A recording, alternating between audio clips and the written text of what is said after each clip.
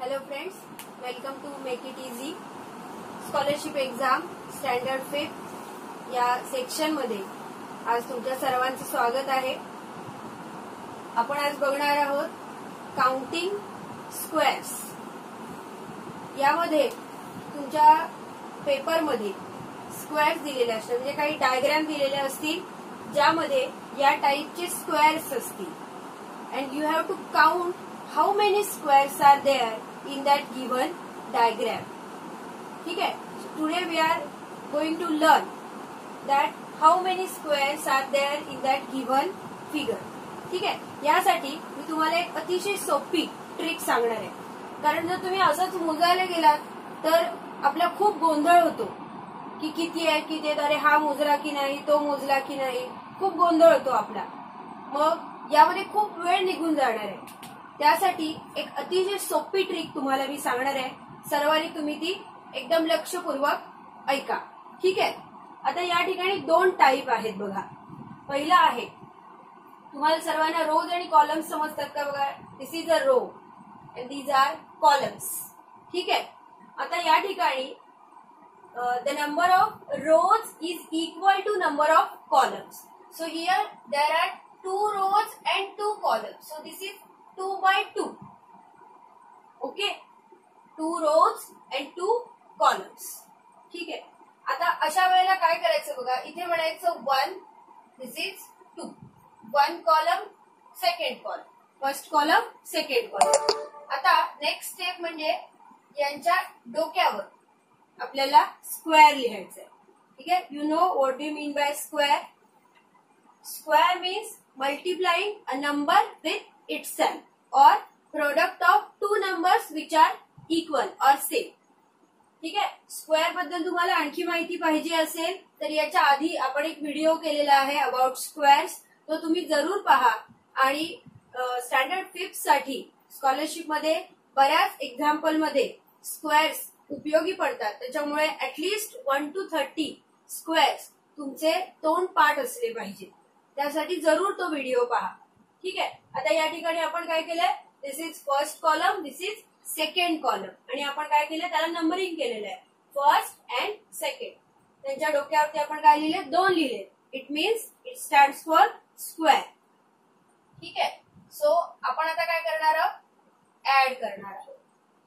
So square of one is one plus square of two is four so what is the addition five so this is the number of squares in the given diagram. ठीक आहे? आणि असेच तुम्ही मोजून बघितले तरी सुद्धा तुमच्या लक्षात येईल. One two three four and the outside square is fifth number so there are five squares in all ठीक आहे? Next example so there are three rows and three column so this is three by three number of rows is equal to number of columns Again, we are using the same trick. We are numbering the columns 1, 2, 3. Then we write square and add them. So what is square of 1? Square of 1 is 1 plus square of 2 is 4 and square of 3 is 9. So what is their addition? It is 14. So number of squares in this diagram is 14. There are 14 squares. Okay. So you have to follow the same method where there are same number of rows and same number of columns.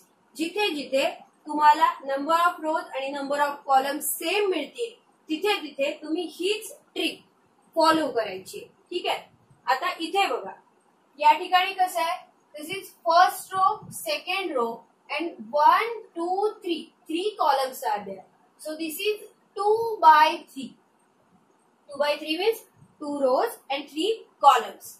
आता इथे काय करायचंय बघा आपल्याला हे जे two by three आहे two by three तर हे आपल्याला in the form of brackets लिहायचे कसे लिहायचे बघा पहिल्यांदा लिहायचं टू बाय थ्री जे आपल्याकडे जेवढे रोज आणि कॉलम्स आहेत तो नंबर आपण लिहिला प्लस आता दुसऱ्या ब्रॅकेटमध्ये काय लिहायचं बघा? यातली एक रो कमी करायची. म्हणजे झाले एक म्हणजे यातले एक मायनस करायचे. मल्टिप्लाइड बाय यातले एक कमी केले टू प्लस आता नेक्स्ट आपण ब्रॅकेट घेतलं तर वन च्या पेक्षा एक कमी केला की झिरो होणार आहे. आणि झिरोने कशालाही मल्टिप्लाय केल्यावर झिरो मिळणार. म्हणजे इथे आपण थांबायचं. ठीक आहे?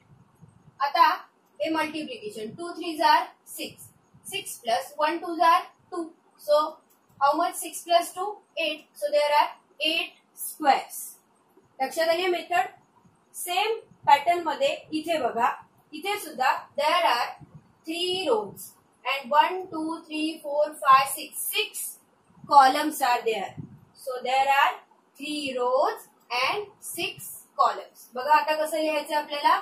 In the form of brackets three multiplied by six plus आता एक एक रो एक कॉलम आपल्याला कमी करायचं आणि ब्रॅकेटमध्ये लिहायचं आहे two multiplied by five plus next is one multiplied by four आता नेक्स्ट काय होईल झिरो होईल मग इथे आपण थांबायचं. ठीक आहे? दोन पैकी कोणीही एक आला म्हणजे इथे रो किंवा कॉलम एक आली की थांबायचं आपण.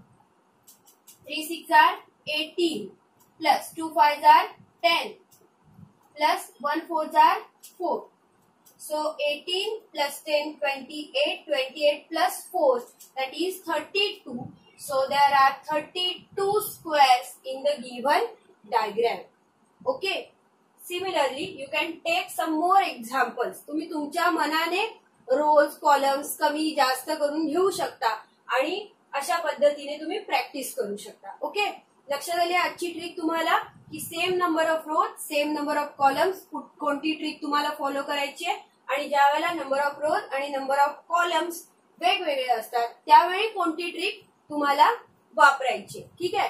अशा पद्धतीने तुम्ही जर ही ट्रिक फॉलो केली तर अर्ध्या मिनिटापेक्षाही कमी वेळामध्ये म्हणजे लेस दॅन थर्टी सेकंड तुम्ही हे एक्झाम्पल सॉल्व्ह करू शकता ओके तर आजच्या आजची ही ट्रिक तुम्हाला आवडली असेल तर या व्हिडिओला तुम्ही लाईक करा शेअर करा. आपल्या चॅनलला सबस्क्राईब करायला विसरू नका आणि बेल आयकॉन वरती प्रेस करायला विसरू नका. Okay thank you